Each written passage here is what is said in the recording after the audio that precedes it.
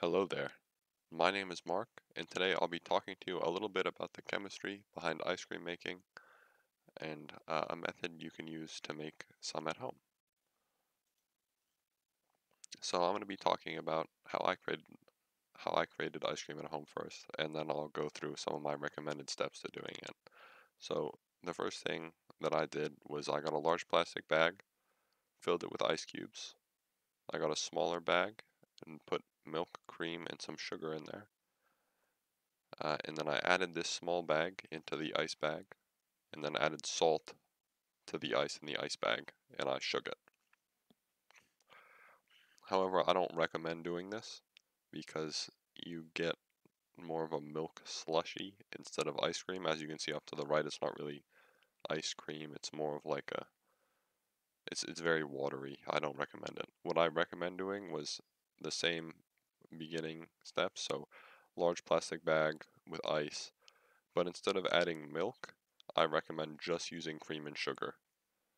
And then adding this bag to the ice bag, like I said before, adding salt and then shaking. And then hopefully then you will be able to get some ice cream. So now I'm going to talk to you a little bit about the, the chemistry of making the ice cream. So adding salt to the ice. Why do we add the salt to the ice? So when we add the salt to the ice, it lowers the freezing point, and this is called freezing point depression.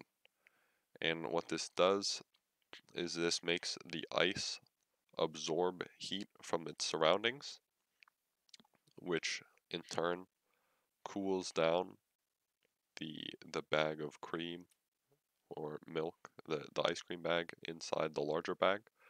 And so it draws heat out of that bag and then it turns it which is why it turns into ice cream, which is why it freezes. Uh, and now a little bit about ice cream itself. Ice cream, like ice cream, is a mix called an, an emulsion. It's made of fat and water that usually wouldn't mix well, but due to the ingredients like the sugar and the other stuff you put in ice cream, as well as the cold temperature, it allows the uh, the fat and water to kind of combine not not really combined, but like kind of attached to each other. So we get this creamy mixture. And that's about all I have to say for today. Uh, thank you for watching.